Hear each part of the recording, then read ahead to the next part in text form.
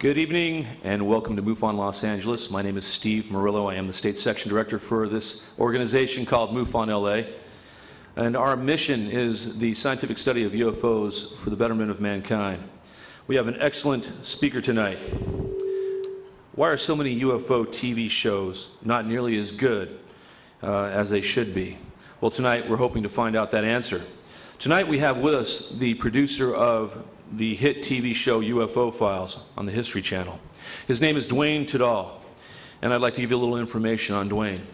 He was raised in Baltimore, Maryland, and uh, he went to Towson University in Baltimore, graduated in 86 uh, with a Bachelor of Science degree in TV and film.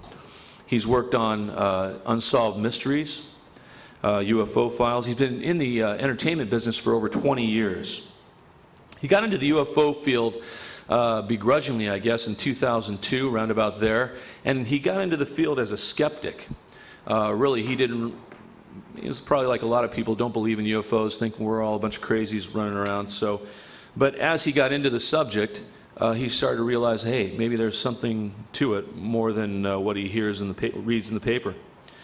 Uh, tonight, Duane's going to reveal the sources of the bias and some of the roadblocks he's run into while conceiving and creating um, TV shows such as UFO Files. He's also going to discuss evidence he's uh, found along the way um, that's been made him turned him from a skeptic to a believer. So, uh, without any further ado, um, I'd like you to please welcome Duane Tudahl.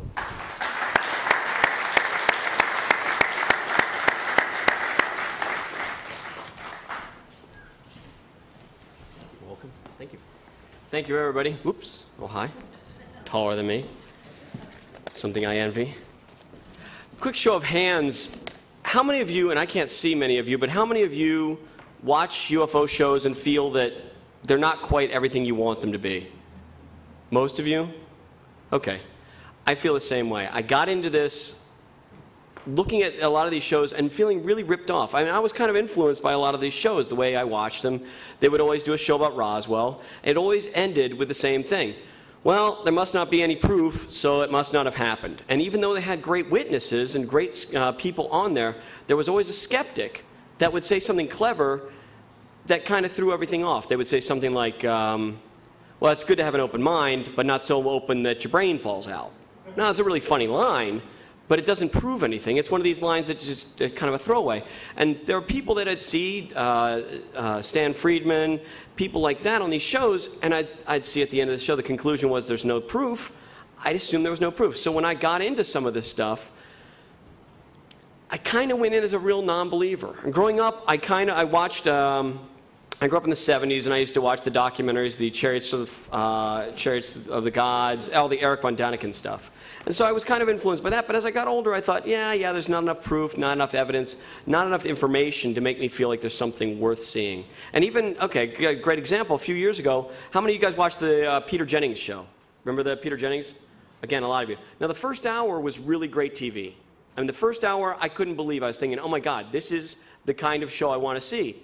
And then the second hour really screwed me over. It really made me realize that, wait a second, there's a giggle factor out there, and people don't want to know much about this. And they will go out of their way not to tell you things because they're afraid of looking like a fool because they think oh, there's no evidence. So, what I started doing as I started getting into some of these shows, I'll go into what I do, but I started looking for evidence. People said, You'll find proof out there. And I thought, well, if I can't find proof, at least I want evidence. the difference between evidence and proof is evidence is an abundance of information that leads you in a direction proof being something that gives you absolute. You, you take the things to court, people would go to jail for it. So I started looking into this and I said, as I started, I thought there's really no evidence. And as I went along, I started looking at some of the evidence. I said, I found out there was photographs. Okay, I expected that. Videos. But I started realizing there was things like uh, multiple witness radar recordings, photos, videos, multiple witness, uh, eyewitness uh, reports, radar evidence, radar recordings, physical evidence in the forms of uh, five scientific studies, uh, several government studies, landing imprints, DNA, metal fragments, sightings from uh, upstanding citizens like police officers, judges, astronauts, as they talked about, presidents, newspaper accounts, burn marks on the ground, glowing rings, changes in soil, damaged property, effects on animals, dead cows, animals making extra noise, jumping out of their pins, uh, running away, not coming home, and psychological effects, physiological effects on people, temporary blindness, radiation sickness, marks on the body, implants in the body, missing time. Now, people say there's not evidence. That's a laundry list of evidence, if you ask me. So I went into this as a real skeptic. This is going to be the journey that I'm going to tell you about of my journey from being a skeptic to being an open minded skeptic. I'm not going to say I'm a huge believer because I want the evidence. But I've given you a list of the evidence that people have brought to me. People have brought to me pieces of metal. We've had it tested. Great, I want to know more about this.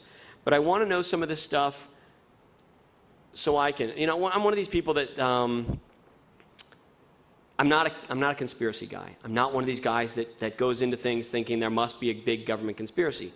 But if you can show me things, I'm really open to some of this stuff. Let me give you a little background about myself. I worked at Johns Hopkins, or the, the uh, hospital that worked in, uh, eventually was called Johns Hopkins in Baltimore as a photographer in the uh, pathology department. Um, so I, I, did a lot of research when it came to studying photographs and things like that. Uh, when I moved out to Los Angeles, I worked on cops, so I understood when it came to police procedure. I worked on Unsolved Mysteries. I know you guys watch Unsolved Mysteries? Okay, the reason why I liked Unsolved Mysteries was they would bring people up there and let them talk about it. They'd bring a skeptic and they'd bring a, uh, an expert, and they'd let them both give their points. And not just call each other names, because that's really easy to do, but actually say, I believe it's true because of this, I don't believe it's true because of this, and let them kind of go for it. And in fact, Unsolved Mysteries, where the uh, Roswell, uh, a lot of people didn't know that Roswell was kind of re- uh, rediscovered through Unsolved Mysteries. Uh, the Cash Landrum case with uh, John Schuessler. A lot of these cases, uh, the UFO cases, ended up becoming very well known because we went and really did the research and did the evidence on this stuff. Well, I started working on a show called Who Killed JFK, and it was about the Kennedy assassination. I started realizing, you know, there's a lot of information about this, and I really got intrigued with this. And so finally, somebody came along to me and said, Do you want to edit one of these shows about uh, UFOs, UFO files? And I said, Sure. You know, it's a job. And I started looking into this, and they still weren't done very well. Some of the producers we had doing them kind of went in with their own bias. And people ask me a lot of times, is there a bias out there with the network? Does the network ever say, you know, you can do this, you can't do that? What I found in my time doing this is it's not really a network bias. It's more the bias of the producers. The producers, the individual producers, will tell you what they want on the show, what they don't want on the show. Uh, for example, we had a show called The Greys Agenda. Well, we really didn't end up doing much about the Greys Agenda. We ended up doing stuff about do the Greys exist? An interesting show, but not exactly the same show we expected. So when I finally got a chance to do a, my first show that I got to produce, we did one called UFO Hunters. Now, UFO Hunters was a show that we decided to do. Uh, it was uh, my producing partner, John Greenewald, and I. John Greenewald, I don't know if you know who he is. He runs the Black Vault, have you ever, have you guys ever used the Black Vault? Good.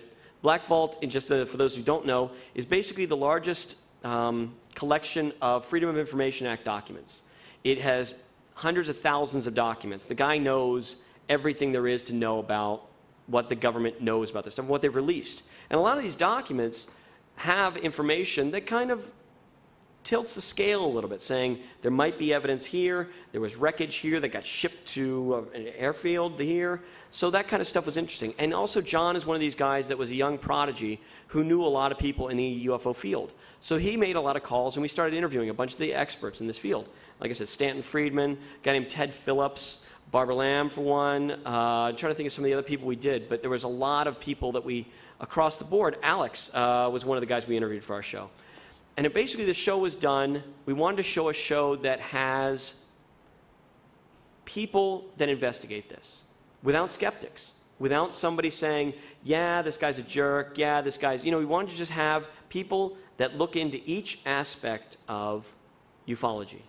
And the case that really got me turned was the case that got a lot of people turned, which is uh, the Socorro, New Mexico case in, uh, on April 24th of 1964. Uh, for those of you who don't know the case, it's the kind of case that changed a lot of people within, within the UFO field. Uh, an a police officer named Lonnie Zamora was uh, driving around Socorro, New Mexico, and saw something, went over to where it was, and there was a ship. Now, this is a police officer. Police officers generally don't want to talk about there being a ship. But the ship, uh, he saw it, saw people or creatures standing outside of it, saw it take off. And it kind of made a big explosion. Somebody else saw it in distance. They went, uh, they had investigators come. The uh, Project Blue Book came there. They investigated. There was a burn mark. There was heat so much at the uh, area where it launched that the uh, sand had turned to glass. Plants had dried up. There was, a, uh, like I said, a big burn mark. And there was a lot of physical evidence. There's imprints in the ground and footprints where this stuff happened. Now, I can't explain that. Now, you've got an, a case like this where you've got an upstanding citizen, an officer of the law, who says that there's something going on here. He's witnessed this. That intrigues me. Okay, you got me. I'm willing to listen to this a little bit more. And we started talking about some of the cases with that. We started talking about people with uh, implants in the body. Uh, Dr. Roger Leir um, had done a lot of operations where they pull an implant out of the body and test it. Okay, again, you got me aboard. And I, I thought, what a cool subject. And as I started doing this, I realized there is more evidence than I thought there would be. There is a lot of um, things out there that you're not going to see. And that's why I like documentaries. Documentaries, to me, just to understand what a documentary is exactly, is a documentary takes you somewhere where you usually don't go. I mean, I could put a camera up in the middle of the street, it's not interesting. But if I can take you somewhere where you can't see, that's intriguing. If I can give you information you're not going to normally see, okay, I'm intrigued. It's kind of like uh, the analogy I use with a, a, documentary is like it's intriguing like um, um, tan lines are. You know, you see a tan line and it's kind of cool to see it. It's something you don't ordinarily see. That's what a documentary is. If you can take somebody somewhere that they're not used to. And I worked with Geraldo Rivera years ago, and he said one thing to me. He said more than one thing to me, but he said one specific thing to me that if you're going to have some people watch your show, entertain them. Give them a reason to watch an hour of it because they're inviting you into their home, and it's only courteous to entertain them and make them want to come back. And this is back when Geraldo was doing a bunch of big documentaries. We, I happened to work with him because we did the show Cops out of his uh, uh, condo in Marina del Rey, just to give you a little bit of insight into that. But he, that made a lot of sense to me. And I've, I've kind of always gone into my shows with the realization that people watch these shows for a reason. And so many times I watch UFO shows and I'm angry at the end of it. And I don't understand why somebody would think, I'm going to make a UFO show, and at the end, I'm going to make the people who watch this stuff feel like an idiot. Because people aren't going to watch, watch the next week. Uh, would you, uh, most people don't tune into a show the second week if the first week they're told they're stupid. Do you? No. And that's how I feel about the show. And I thought, I want to give these people something, something that they can watch the next week and something they can talk about. And that's why I, I liked UFO. Did, how many of you seen the episode UFO Hunters uh, that we did? I don't know if any of you seen it. Okay, what I'm going to do is show just the beginning of uh, two shows. The first one is just the, the opening um, 45 seconds of UFO Hunters, and another one we did called Hangar 18, and then I'll start talking again.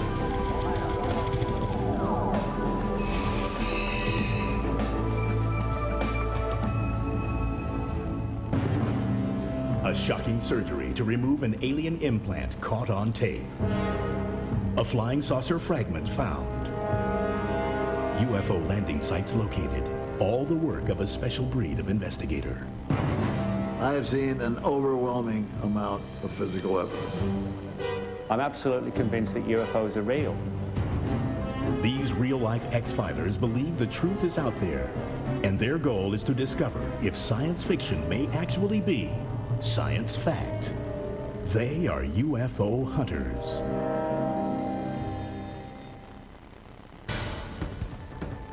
Is the government hiding crashed UFOs beneath Wright-Patterson Air Force Base in Dayton, Ohio? I would say we probably retrieved dozens of crashed saucers. Are there declassified government documents that prove that UFO wreckage was secretly flown to the base? Reports claim anywhere from 14 to 16 bodies were recovered from the craft. For the first time on television, exclusive stories from deep behind the secrecy. I had a top secret SCI clearance. I've never told this story on TV before. Is there a conspiracy to hide UFO evidence at the highest levels of the U.S. government? Or is it all just a myth? If you want to know the truth about UFOs, Wright Patterson Air Force Base would be the place to go. Join us as the UFO Files uncovers the facts behind the legend of Hangar 18.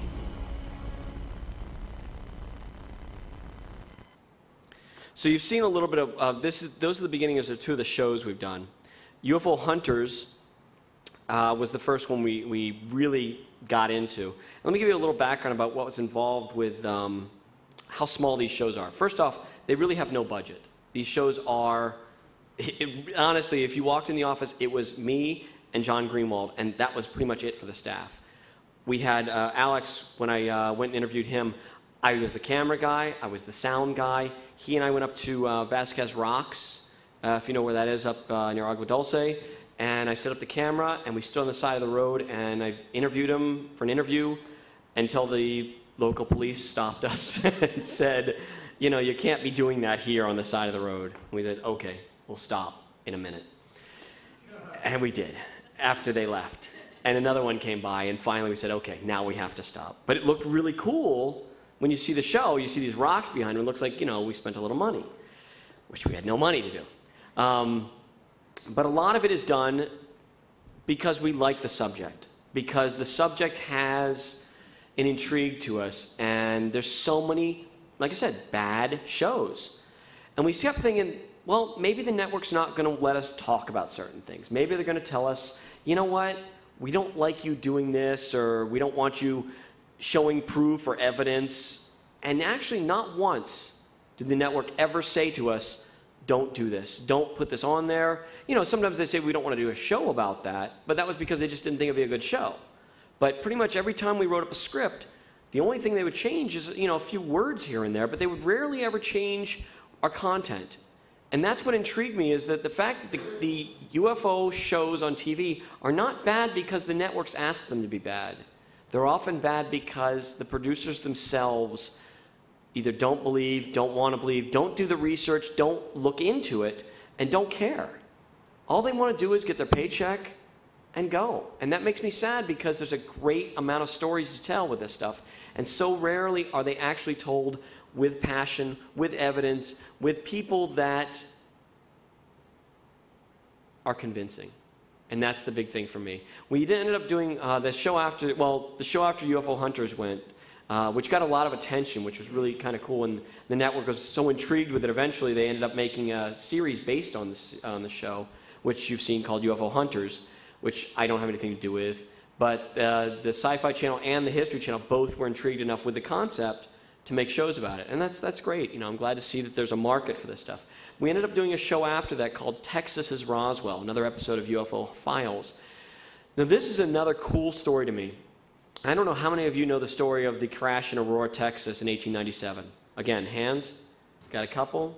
See a couple?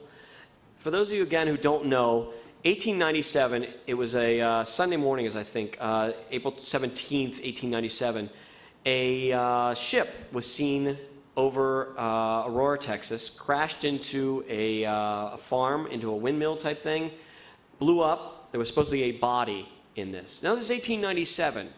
And people are saying, yeah, it's just one article. Well, actually, the Fort Worth uh, Register, that, uh, that Sunday, or that, uh, that 17th, how, the 19th uh, was the paper, had over 12 articles about this. Not just that sighting, but sightings from judges, sightings from other people. And when you trace it back, over the past six months earlier than that, there were sightings in over 20 states by thousands of witnesses in hundreds of newspapers. Okay, now this is intriguing to me because this is five years before the Wright brothers are flying. Okay, I'm even more intrigued. We can't explain that. There's nothing that could have been doing this, a cigar shaped craft flying around at high speeds. Okay, it can't be a government cover up, can't be imagination. Even if, let's say, we eliminate 99.9% of the witnesses as crazy, there's still a few. And all you really need is one. Now, if you have a crash, the body was uh, found in this, the quote, and I want to read the quote exactly in the paper because this is what intrigues me. The quote in the paper said, It was not an inhabitant of this world. Okay, again, I'm intrigued. There was uh, wreckage, body. The body was buried. They had a civil, a Christian funeral for the body. There was a marker in the local graveyard. Okay, more evidence that I think is intriguing. Then they found metal. Even more intriguing, the metal was tested. The metal turned out to be an aluminum type thing that looked like metal. Uh, it had the properties of metal that had been melted from a crash or from a burn, from a, you know, from a high thing, in a way that could not have been done back in that time. Okay, more and more and more. Another piece of evidence. There was on the property uh, was eventually owned by a man named Ba- uh, Brawley Oates. Brawley Oates was a man who uh, got terrible rheumatoid arthritis. Actually, there's a picture of him on here. I will tell you when he goes by. But you can see how bad his knuckles are. His knuckles are so bad. He had the worst rheumatoid. There he is. See that shot going by in the back there? That's his fingers. It looked like golf balls in his fingers. Now, he says he got that from drinking the water from the well. The well was right beneath the thing that crashed. A lot of the metal supposedly went into the well. Okay, so you have radiation, you have uh, physiological effects on somebody. You have metal, you have newspaper accounts, you have hundreds of witnesses' accounts long before flights were happened. This is a story that to me needs to be told. I don't understand why somebody wouldn't say, well, let me look into this a little bit. So what we did was my co-producer and I went down there to Aurora, Texas, spent some time going to the cemetery. The marker's gone. The marker that marked the grave is gone, and then nobody knows where the grave is. Okay, that kind of sucks a little bit, but we'll proceed.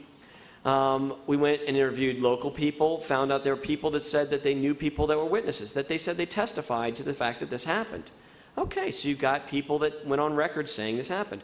Again, all these great stories. And the network not once said to us, you know what, this is hitting too close to home. We don't want you to do this. They said, we love this. Network wants to have intriguing stories. They want to have stories that people are talking about. They want to have shows that make you, want, again, want to watch the next week. And this was one of those shows. So I was very happy to have had a part in this. Um, trying to think there's anything else about that. That seems to be pretty much that for that case. I wish there was more cases out there like this. There are some, and I'm going to go into some more like that. We started talking uh, about additional shows we wanted to do. And we started looking into some of the people we profiled in UFO hunters. And one of the guys was a guy named Ted Phillips. Now, again, Ted Phillips, for those of you who don't know, Ted Phillips is sort of the preeminent guy when it comes to trace evidence. He is the guy that goes out there, he's investigated over 3,000 cases of UFO landings that have physical traces on the ground, whether it's burn marks, whether it's imprints, things like that. Things that really can't be explained, things that can be tested, things that can't be recreated, and things that are not just a photograph, a blurry photograph. Because too many times I think there's a, a group of people out there that everything they see in the sky is a UFO, and there's another group that feels like no matter how much evidence there is, there's no UFO. So you got somebody like Ted Phillips who goes out, really researches this stuff. He was uh, trained by, G, uh, by uh, J. Allen Hynek, who ran Project Blue Book. He went out and investigated a lot of these things, a lot of all these states, and he gave us some of his best cases. And we even took him to one of the cases and we reinvestigated some of this stuff. Let me give you some details of one of the best cases he did. Did one in a place called Delphos, Kansas. Hold on for one second. Delphos, Kansas is really in the middle of the state, and it was on a uh, Tuesday, November 2nd, 1971. A guy named Ronnie Johnson uh, worked on his farm, young guy, and saw this thing spinning. Couldn't understand what it was. It was off the ground, but it was letting out this kind of mist that went down, and he saw it. It uh, kind of started going away, and it was really bright. It hurt his eyes a little bit. Uh, it took off, knocked over a tree. It was seen by the rest of his family. His dog uh, ran away from it. His, the sheep were jumping out of the pen. It's a big deal. His family came out when the thing had left, and they saw it going off in the distance, not just seeing it up close, but seeing it travel away, and it was going against the wind. So it's not one of these things that could have been a big bag or something. When they went over to it, there was a glowing ring. Now, this is the kind of case you don't hear about a lot because this is something right there. Erma Johnson ran in the house, got her camera. She had one picture left on a Polaroid, took a picture. The picture showed a glowing ring. Now, what's intriguing about this is there's no reason for this ring to be there. And the ring which was interesting to me, was not just a, a regular ring. It looked more like a horseshoe. It was a, um, a ring that the far end had been kind of uh, blown, like uh, dissipated. And if somebody was going to fake that, they'd probably just do a circle. You know, why would anybody think the wind would be taking some of this? So they, uh, the Erma touched the, uh, the glowing stuff, and her fingers became numb. Whoa, what's going on with that? Wipes it on her leg. Her leg becomes numb. Her leg became, uh, her legs and fingers became numb and stayed numb for over 20 years. Now that's intriguing to me. Again, some sort of physical proof. They started testing this stuff, and, and uh, it was eventually tested, and it showed to have an, a large amount of full. Uh, I wrote it down to make sure I got it right. Fulvic acid was what it had. Uh, the other thing it had was um, folic. Is folic acid? No, it's not folic acid. Fulvic. It was it was different than I because it's not folic acid. Um, I don't have the notes of what it was exactly. But anyway, it, it was also the, the soil became hydro, uh, hydro, hydrophobic, which meant it wouldn't absorb water. And it meant that when it snowed, the snow wouldn't melt on it. You could pour water on it, and the water would just dissipate. And now this is, there's no reason to have this. There's no reason to make this circle any different.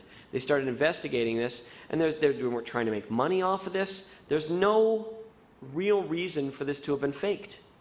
And that's what intrigues me. Okay, you've got a family who had no experience trying to do this before who all saw something. There was physical trace evidence on the ground, physiological damage to the people, animals reacted to it, trees uh, and tree limbs messed up because of this. All this stuff based on something that we can't explain. I'm aboard. I'm good with this.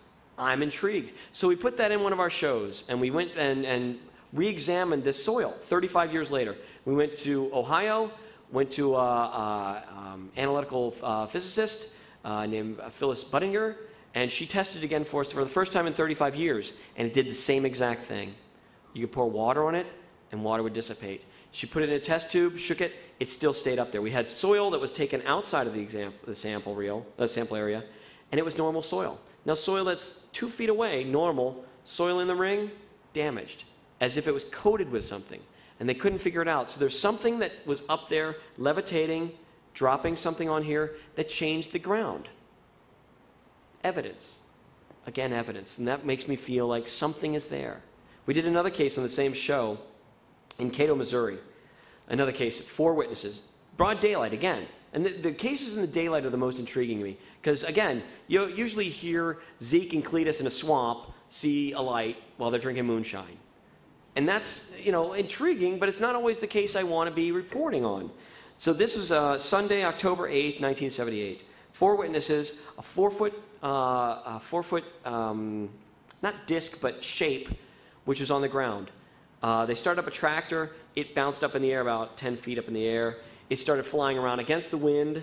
Um, it uh, uh, left a burn mark. Again, all the grass in the area dead. Uh, the grass outside superheated, so much so that some of these plants curled in on themselves and the dirt that was blown out was inside the plants. Okay, you're not going to get that without some sort of propulsion being blown out. It went up, the witnesses saw it go that way, that way, and they saw it go up and meet with another ship above it. No photographs, but physical evidence on the ground. And they tested it. Again, the, the soil was distinctly different than the soil outside that kind of stuff makes me think that there's cases out there worth reporting. And you have officers reporting, you have, again, astronauts like we talked about earlier, you have presidents that are saying, I've seen this stuff. You have scientists out there that are looking into ufology and, and, and realizing that there is something to this. There is something, and when they started telling me these stories, I, I my I have the greatest job on the planet because what I get to do is go and meet these people that investigate this stuff. I get to go to their homes, I get to spend a day with them.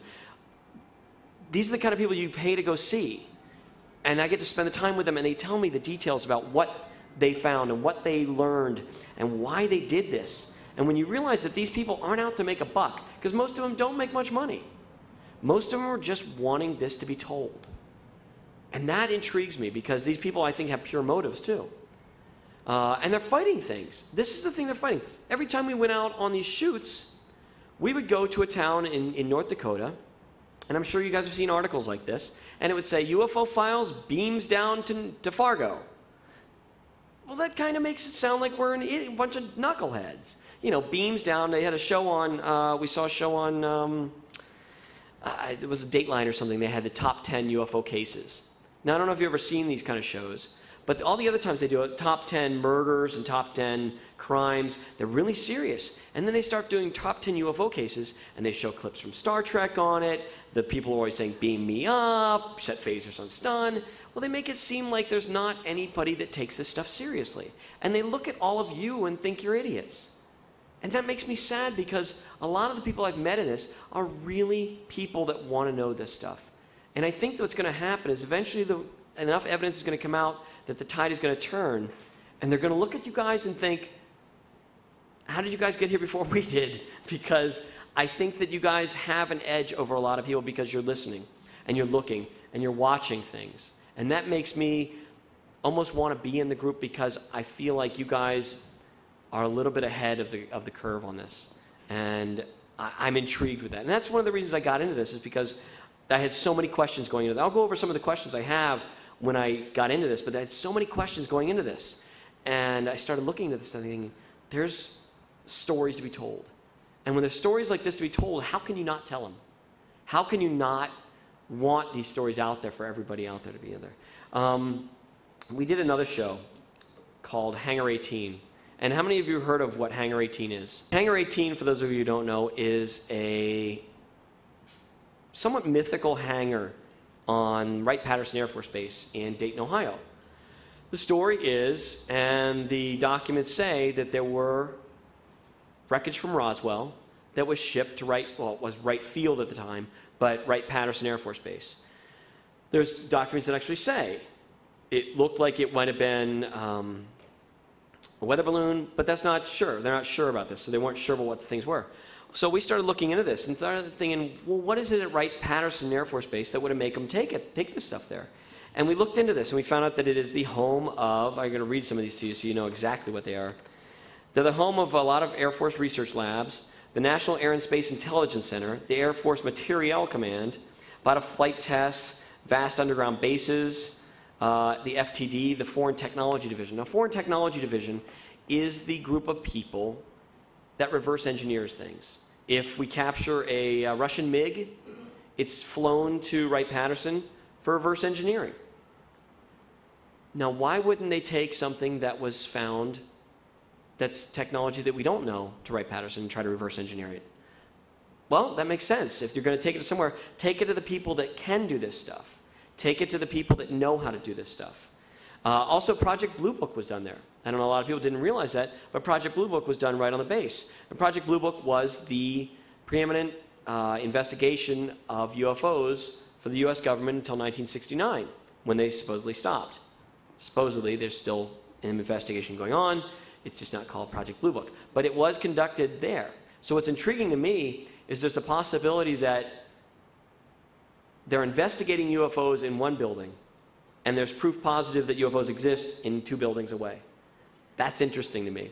So we thought, why don't we do a show about Hangar 18, where we go and actually see if we can get on the base? Again, documentaries take you to somewhere where you haven't been. So we called the base, and they said, sure, we'd love to have you. And we're like, you know this is a show called UFO Files. Sure, come on, on, come on. So we got there. We got to interview uh, the uh, Colonel um, Andrew Weaver was his name, who was the head of the base. He said he had one stipulation can't ask me any questions about UFOs. Okay. But can we ask you about reverse engineering and things like that? He said, Yeah, absolutely. So we asked him what they do. And what they do, again, is take technology that's found and bring it back. And he said, not really uh, he didn't want to talk about UFOs, but we did talk to somebody who worked on the base that did talk about UFOs a little bit. There's also a group called uh, a thing called Project um, Moondust. Have you ever heard of Project Moondust? Project Moondust was started in the 50s by the U.S. government to, and I want to read this exactly so you know, to uh, retrieve non-U.S. space objects or objects of unknown origin. Now this is several years before Sputnik, so there really isn't anything in space.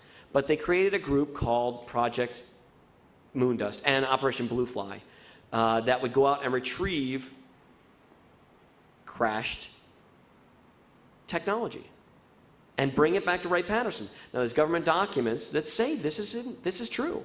There's cases that were in Chad and other countries that say a globe went down or a ship of some sort crashed and it was shipped to Wright Patterson to be researched. Okay, again, I'm intrigued. They let us go all over the base. They, gave, they said, you know, is there anything you want to see? And we said, yeah, we'd like to see the uh, cryogenic chambers. They didn't really show us cryogenic chambers where there are aliens, but we did ask them, and they said no. We got pretty much the PR tour. But what they did was they said, this is the building that used to be considered Hangar 18. It's now Building 23. These are the stories, and we had people we interviewed that said, this is the information we got. There's underground chambers. There are witnesses that say that there were UFOs that were there, that there were alien bodies that were there. We found a woman named June Crane. Now, June Crane had passed away several years ago, but a man named Jim Clarkson had interviewed her. Now, June Crane was a um, legal a, a typist there, and she had all the paperwork to show that she was there. But her interview was fascinating because she, her interview, she said, "I remember three to four crashes being brought to Wright Patterson back in the 50s, including Roswell." Okay, she said, "I remember bodies being brought there, and I remember people talking about that. I remember playing with metal." Okay, that's really intriguing. Why didn't she say this before? Well, she had signed a non disclosure agreement that said she would have to pay $10,000 if she talked about this. But when she got to the point where she was old, she said, You know what? I'm 72 years old. What are they going to do? Put me in jail, you know? So she talked. And she talked and talked. And we put that interview on TV for the first time.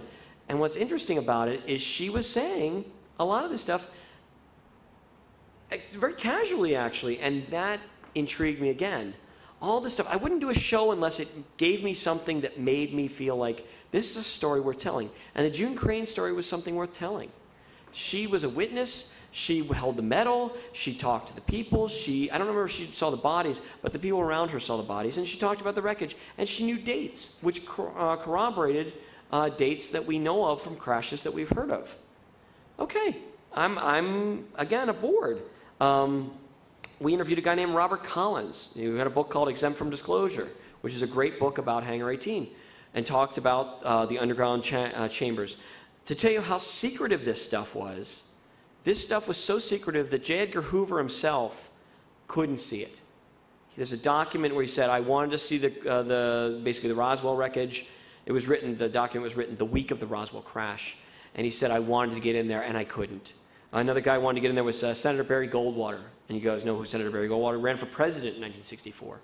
And he couldn't get in. He went to the, uh, the head of the base and said, Look, I know you got a place where you put all this stuff, and I'd like to see it.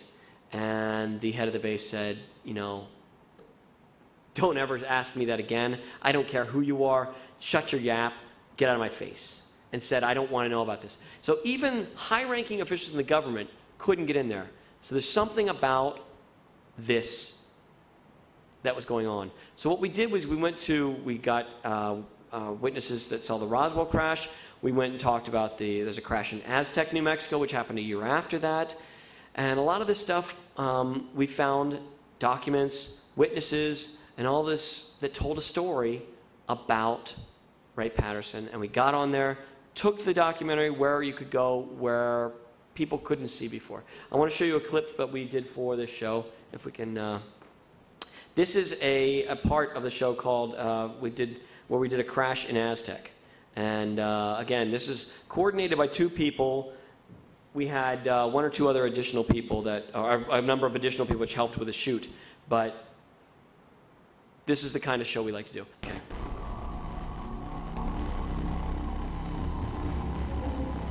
March 25th, 1948, Aztec, New Mexico. What starts as a normal day for local oil workers turns into an encounter with the unknown.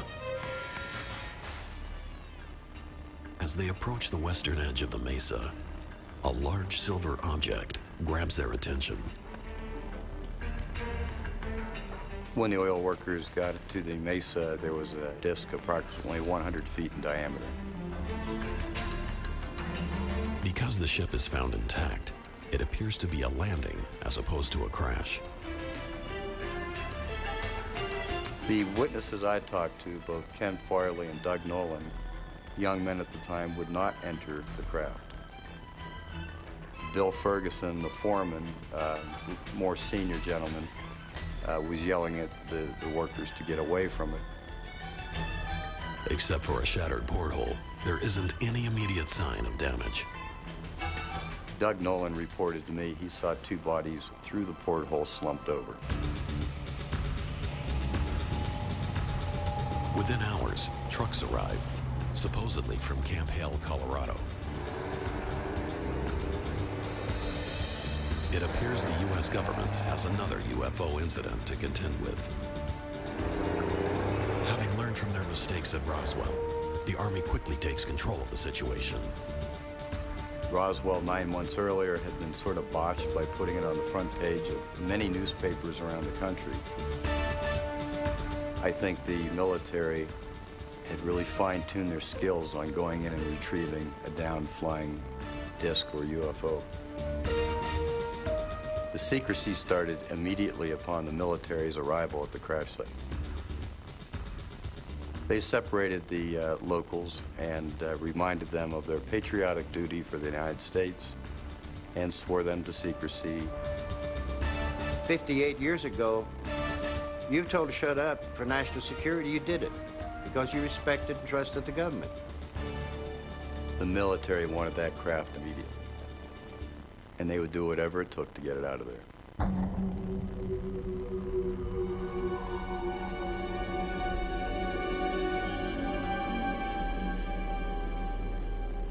According to the eyewitnesses, the Army recovers between 14 and 16 badly burned alien bodies from the craft. The recovery team reportedly brings both the ship and the alien corpses to a local safe house, away from the media. Take it to the nearest military base where you can control access to it. And then you arrange to ship it to an appropriate place, depending on what you want done. But again, Wright-Patterson would be the eventual repository. Because of the number of alien bodies at Aztec, it is considered one of the most significant UFO retrievals to date. But UFO researchers say there are many other cases tied to Wright Field. October 1947, Paradise Valley, Arizona. May 1953, Kingman, Arizona.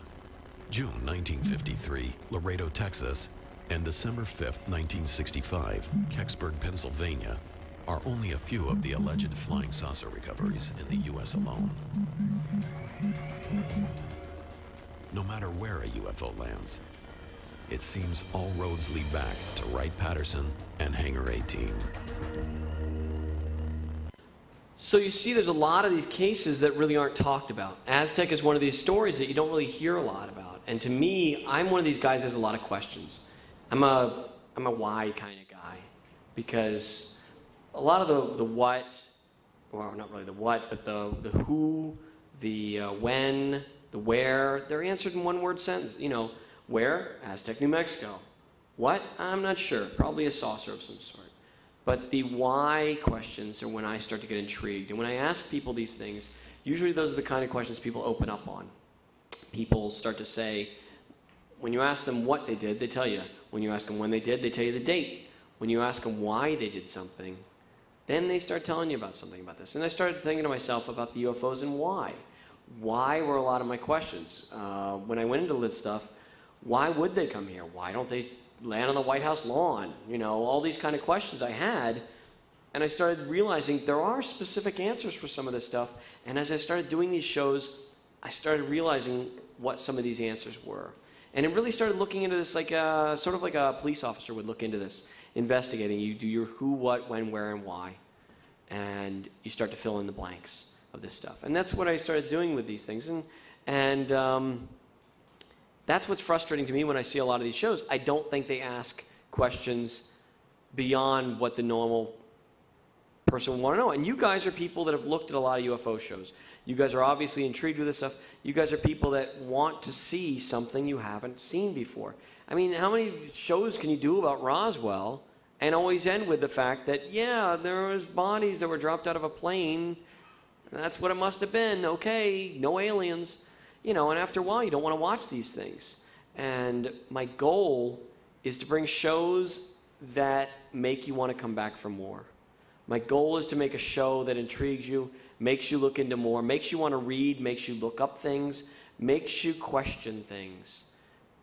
I don't want to do, I, I don't want my bias to be on the show. My goal when I do these shows is I don't want you to know what my opinion about UFOs is. I want you to wonder does he believe, does he not believe? Because he's not ramming it down my throat. He's just giving me the evidence. Here's the cases, here's the evidence, here's the situation. You decide. We make a court case type thing, we lay it out, and let you decide. I'm not going to Michael Moore something and kind of create opinions in these things. I want you to watch it and make a decision for yourself, kind of like Unsolved Mysteries. So that's what it really did kind of influence me. So when I started looking into these questions I had looking into this, um, I started thinking about some of this stuff. Um, again, why don't they land on the White House lawn? And I started, because that's always a question you, you always hear. People come up to me and say that's the first, when I'm interviewed for things, why don't they land on the White House lawn? Well, first off, the White House is not the, it's not the main place, it's not the government of Earth, it's just the government of the United States. But second off, look at what we do when we go and study some jungle people or apes in the jungle or something. What do we do? We study them from afar. We don't actually go right up next to their fire with a video camera and say, smile. We say, okay, we're going to watch them from as far away as we can with our cameras and try to get footage of them. You, how many of you guys watch uh, any of these, like Planet Earth and shows like that, where they show these things? They're not right up in these animals' faces. They're kind of watching them from afar. Well, that's sort of maybe what they're doing. Who's to say they're not watching us from afar, watching us doing things? Who's to say when we talk about well, we, what do we do with the animals so we can follow them? We tag them. We not, you know, we tag and number them. Who's to say that some of these implants that people are finding in bodies aren't that? Who's to say that, that they're not doing exactly what we would do? People say, how do they get here? You know, well, the technology, how do they make it here? Well, I started asking people about this. I asked, you know, nuclear physicists about this. I asked people that would know because I don't. And the best explanation I heard was this We've only been flying for 100 years. It's really arrogant to think that we are as advanced as it's going to get. It doesn't get any more advanced than us. Well, we're basically using the same way we flew 100 years ago a propeller, forward motion, and that's about it. We really haven't changed our technology much when it comes to flight. Even rockets are not really a, a dramatic change in the way we fly. Jets, the fastest jets we have, still are basically the same concept as the Wright brothers. Who's to say there's not somebody that's 100,000 years or a million years ahead of us? They've discovered all kinds of new technologies and things like this that we wouldn't even conceive of. I mean, we people say, "What's the next version of technology going to be?" I have no idea. Nobody knew that the uh, vacuum bulb would be replaced by the transistor. It's not a natural, logical progression. It's a leap. The next leap may make us have ships, may make us have things that can travel faster and defy some of the physics that we have already. I don't know, but what I'm intrigued with is the fact that there are technologies out there probably that know more about this stuff than we do. That if we if, that look like magic to us. If we took TV back 100 years ago and showed somebody a high def TV, well, we'd probably be burned at the stake for magic and they wouldn't understand it. Well, it's the same thing with us seeing things. We can't explain them. They're things that are beyond our scope. And we can only think in terms of what we understand. I see things and I always try to process it through my brain. I try to process arguments through my brain. I try to process things I see, photographs, video. Everything I do, I can only process through what I know. And who's to say there's not a lot of things we don't know? We only use a small percent of our brain. Who's to say there's not technology we don't understand? So that was one question. Disclosure. Now you hear people talking about disclosure all the time. Will the government have disclosure? And it seems to me now with so much talk about UFOs, it seems like every other day there's something in the papers about UFOs. And everybody says, well, disclosure's probably just around the corner. Well, there's people that out there that are saying this, they've been saying this for years. The, the, the disclosure's right around the corner. I personally don't think there is. I don't think the government's going to disclose anything until they have to. It's in their best interest not to. If they've got technology right now that allows them to reverse engineer things, which I still don't know whether or not they'd be able to reverse engineer something. Because, again, if you went back in time and were able to give uh, a nuclear sub to Christopher Columbus and say, okay, this is great, make me two more, odds are he couldn't do it. Who's to say we could reverse their engineering? But there's no, if they could, if we can as a government do that, why would we release technology like that to our enemies? If you release it to them, they have the same technology. And if we're using this for war whatever, why would we do that? We would never have the upper hand. So there's no reason for the government to ever have disclosure unless you have something that's catastrophic on a scale of 9 11 involving extraterrestrials. Then I think disclosure would come out. But until then, there's really no reason for them to release any information like that.